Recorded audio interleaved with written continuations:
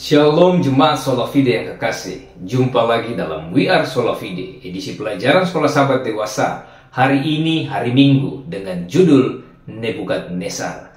Mari kita baca Daniel 4 ayat 37 Jadi sekarang aku Nebukadnezar Memuji, meninggikan Dan memuliakan Raja Sorga Yang segala perbuatannya adalah benar Dan jalan-jalannya adalah adil Dan yang sanggup merendahkan mereka yang berlaku congkak Alkitab mengatakan bahwa kematian Yesus adalah untuk semua orang, bukan hanya untuk sebagian, karena Allah menghendaki agar semua orang diselamatkan dan memperoleh pengetahuan tentang kebenaran.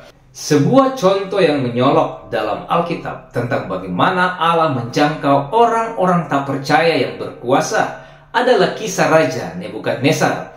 Penghakiman Allah dilaksanakan atas dirinya dengan cara yang mirip dengan beberapa raja Israel. Kisah Alkitabiah tentang Nebukadnezar yang sadar dan mengakui Tuhan pencipta menunjukkan bahwa Tuhan peduli terhadap orang kaya dan berkuasa serta orang lemah dan membutuhkan. Apa yang bisa kita pelajari dari cerita ini? Pertama, Tuhan menggunakan orang-orang percaya yang berkomitmen seperti Daniel sebagai jembatan untuk menjangkau orang-orang tidak percaya yang kuat Kedua, Tuhan bisa campur tangan langsung dalam proses kesaksian untuk menjangkau orang-orang kafir yang berkuasa. Nebukadnezar direndahkan oleh Tuhan karena kesombongan dan kecongkakannya. Meskipun ini adalah kisah yang sangat dramatis, masih banyak cara yang lain yang bisa digunakan untuk merendahkan orang kaya, berkuasa, dan angkuh. Oleh karena Tuhan peduli terhadap orang berkuasa dan kaya.